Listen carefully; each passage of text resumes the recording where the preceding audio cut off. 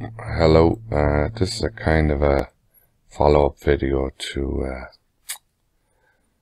uh, uh, to I did a video on uh, creating the drawing process and then I did a video on creating uh, a folder for your prototypes in each project. And uh, then I, I wanted to do this bill of materials with exact weight because this project I have this you can see these stringers are sawtooth cut so the weights uh, don't come in exactly right.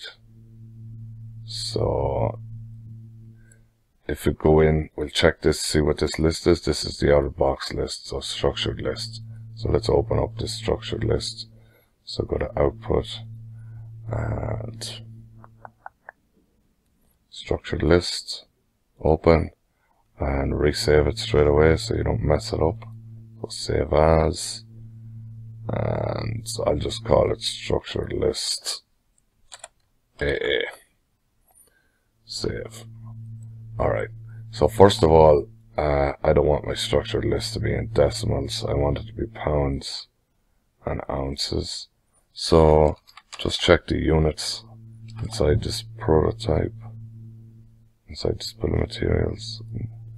And then go to home and do your project settings, weight and you can see the weight here is set to decimal.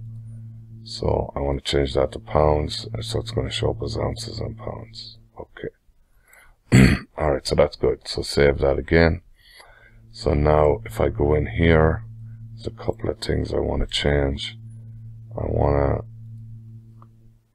we can unlock these. So let's go to output and if you click this one here it'll unlock all these. Now I would recommend doing it this way, selecting and adding removing elements. So remove object, select the cell you want to remove, then you can edit that cell. Then go back in, select the row of cells, add objects and add that back in. It won't work unless you add it back in and it's all one. But I've been doing quite a bit of messing around, so I'll unlock them all. So I want to go to this one first, which is the weight. So we can see that this is set to do just weight. So we don't want this to be the weight because this will be the weight before the features and the holes. So we want to delete this. Now be careful when you're deleting because you'll press delete twice, but it has not deleted that first space. Now it has deleted the first space. So you'll have to re-click and delete. So what I want to do is exact weight. So we want to do exact weight. So basically we can change the token and just put exact in front of it. So we're going to go to this one and this is weight in all assemblies. So we want to change this. Oh no, sorry. Click on this again. So this is weight in all assemblies in current phase. You see it highlighted there. So go up here, exact weight for all assemblies in current phase. Now you can see I have not deleted the other one. So I want to go in here, delete.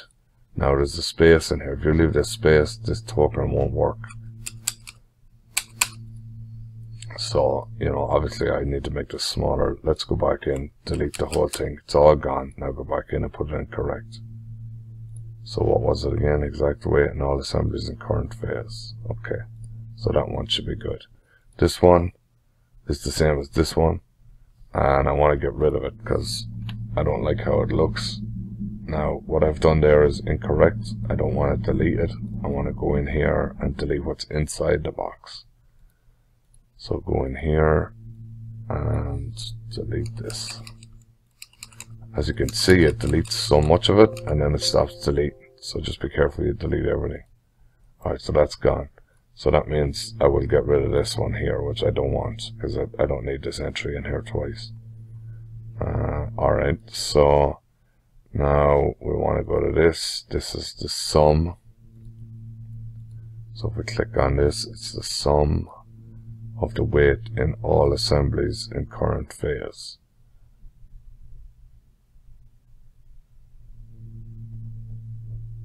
Uh, I'm in the wrong one there. I should be in this one. So let's see what this one is.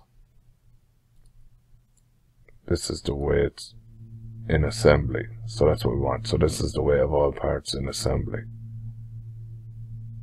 So I want that, but I want it to be exact. So I want it to be the exact weight. So delete, click again, delete again. Exact weight in assembly. And this last one, we want to change this to this one is exact weight in all assemblies in current phase or sorry it's weight in all assemblies current phase we want it to be exact. So click here delete. Click here delete the space. And sorry I will pass it there exact weight in all assemblies in current phase alright so now I just want to put some text over here. So let me copy this. I want to copy this out to here.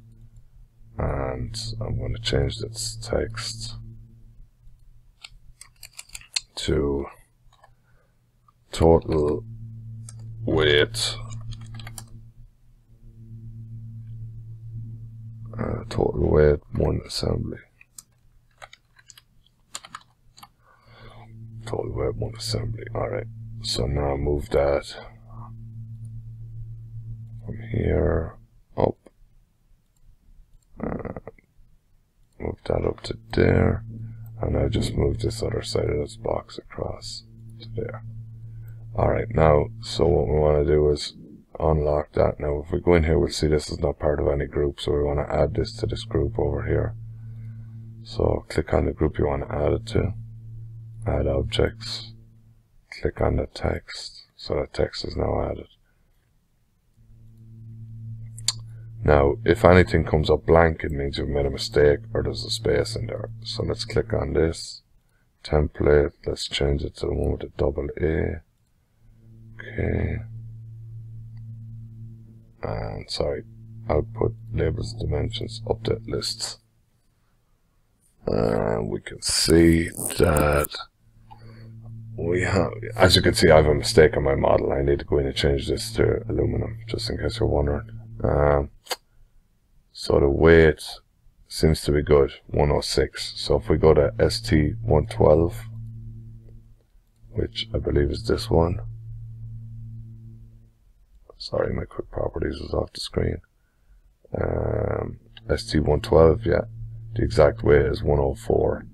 So if we go back to our list, the exact weight is 104.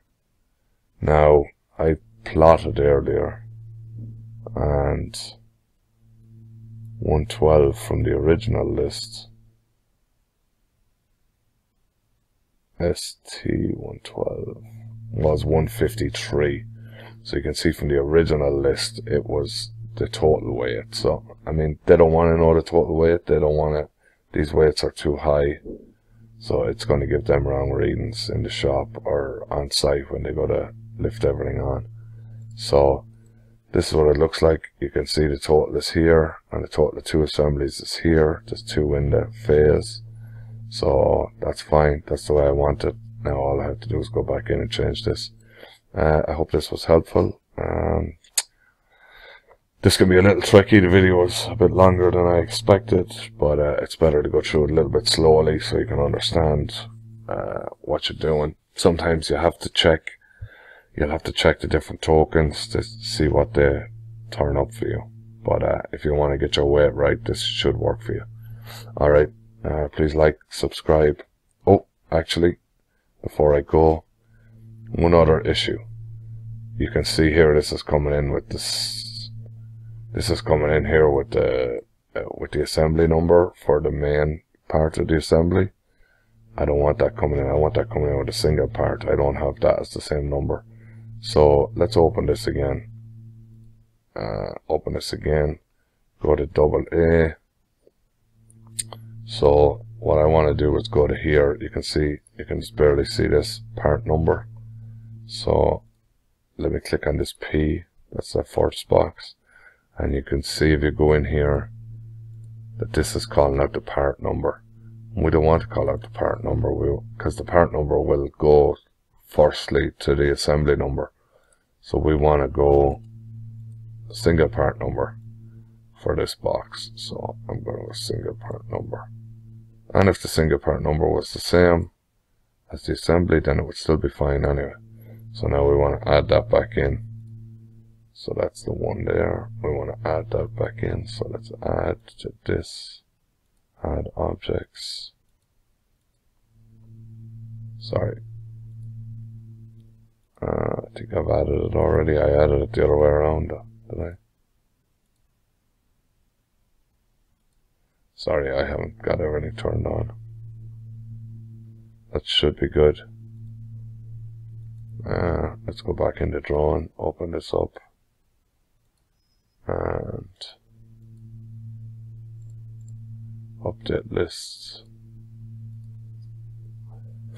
And we can see hopefully this number, yeah, so this number come in as ST111, which is what the number is of that stringer. Uh, this plate is the landing plate, that's why it's very large. Okay, so that's it. Um, Alright, I hope that helps you out. It'll maybe help you understand your bill of materials lists a little bit better. Alright, take care. Bye bye.